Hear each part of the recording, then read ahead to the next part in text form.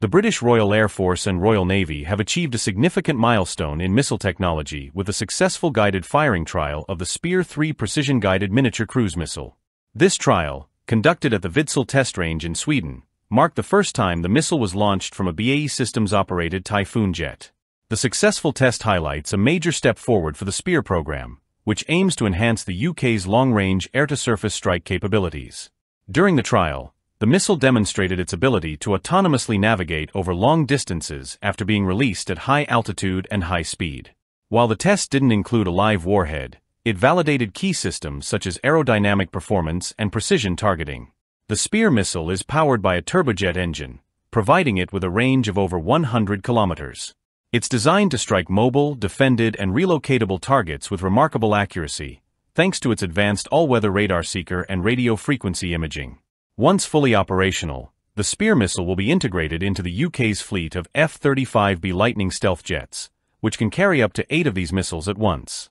This integration will allow the RAF and Royal Navy to perform precision strikes and suppression of enemy air defenses, SEAD missions from both land bases and the Queen Elizabeth-class aircraft carriers. The development of the Spear missile is part of the UK Ministry of Defence's £6.5 billion investment in advanced missile systems, including other programs like Brimstone, CMM, and Storm Shadow. This initiative demonstrates the UK's commitment to maintaining its technological advantage in defence. The Spear missile combines compact dimensions with cutting-edge technology. Its modular design allows it to be integrated across various platforms, with the F-35B Lightning II aircraft playing a central role in its deployment. The missile's advanced guidance systems ensure it can accurately strike targets even in complex environments or when faced with electronic countermeasures. The missile is designed for precision strikes on mobile, relocatable, and defended targets while minimizing collateral damage. Its high subsonic speed and agile flight paths enhance its survivability against modern air defense systems, making it an essential component of the UK's future air-to-surface strike capabilities.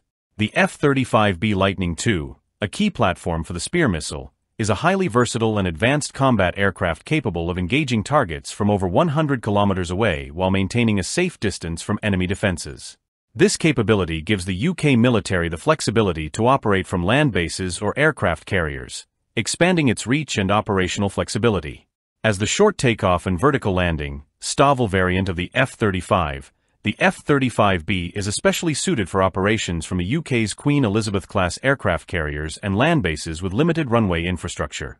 Its stealth design, advanced sensors, and multi-role capabilities make it effective in both offensive and defensive operations, enhancing the UK's ability to perform precision strikes, suppress enemy defenses, and maintain air superiority in contested environments.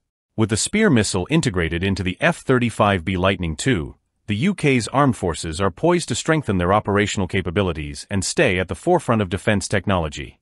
This combination of cutting-edge missile systems and advanced aircraft ensures that the British military can respond to evolving global threats with unmatched precision and flexibility.